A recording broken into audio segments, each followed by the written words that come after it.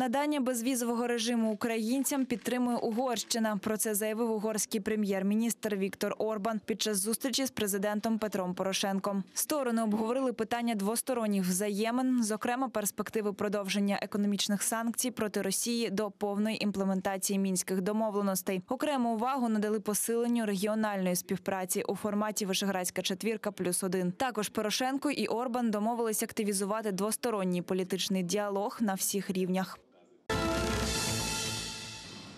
Результати зустрічі у нормандському форматі в Брюсселі обговорили лідер України Петро Порошенко та президент Європарламенту Мартін Шульц. Зокрема, наголосили на необхідності збереження санкцій щодо Росії до відновлення територіальної цілісності України. Також обговорили можливість посилення обмежень через порушення прав людини в Криму. Глава держави закликав Європарламент якомога швидше надати українцям безвіз. Своєю чергою Шульц запевнив, є стабільна більшість для ухвалення цього рішення. Сторони також дійшли згоди, що угода про асоціацію має бути негайно ратифікована.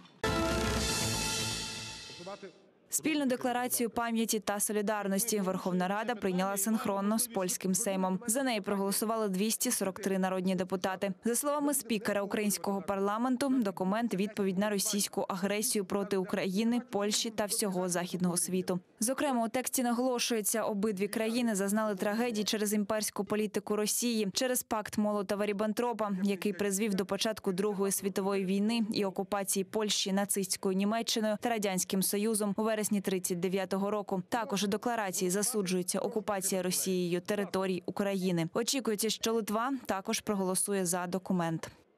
У нас стратегічний ворог є один це російський імперіалізм. І ми не дозволимо розбити антипутінську коаліцію і союз наших найближчих союзників. А Литва, Польща були, залишаються і будуть нашими найближчими союзниками в боротьбі проти агресії Російської Федерації.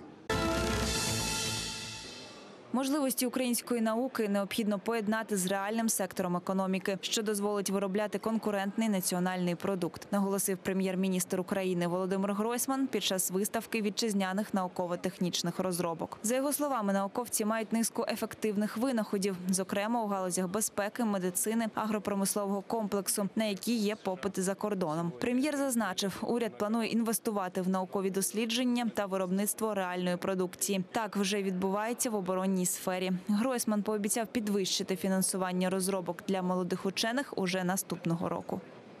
Ми так чи інакше хочемо е, з держави інвестувати і в наукові розробки, і в е, виробництво реальної продукції. Тому і в оборонній сфері ми вже сьогодні інвестуємо. А що стосується розробок, то ми підвищуємо на наступний е, рік фінансування саме цих розробок для вчених, молодих вчених, що дуже важливо. Ну і я переконаний в тому, що через програми стимулювання, в тому числі через е, підтримку агропромислового комплексу, ми можемо сьогодні підняти е, сільхозтехніку українську, і це є абсолютно реально. Троє українських військових поранені через обстріли російських бойовиків в Авдіївці та Водяному. Про це повідомили в Міністерстві оборони України. У відомстві зазначили, у зоні проведення антитерористичної операції ситуація дещо покращилася. Зокрема, на Маріупольському напрямку обстрілів терористів стало менше. Утім, про повний режим тиші не йдеться. За минулу добу російські найманці на цій ділянці фронту вісім разів били з важкого озброєння. Кількість випущених боєприпасів у порівнянні з минулими днями знизилася і склала близько 100. Певна деескалація на цих рубежах пов'язана з вчорашніми переговорами нормандської четвірки у Берліні. І поки що немає характеру стійкої тенденції. Всього вчора на Маріупольському напрямку відбулося, відбувся 21 ворожий обстріл, 8 із них із важкого озброєння.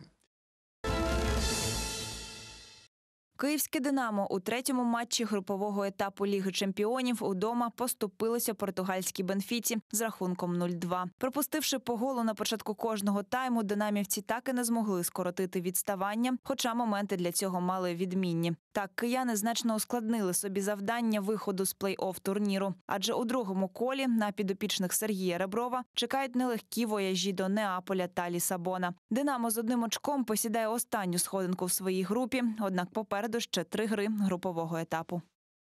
Руки, руки ніхто не опускає. Ми Рук ніхто не опускає.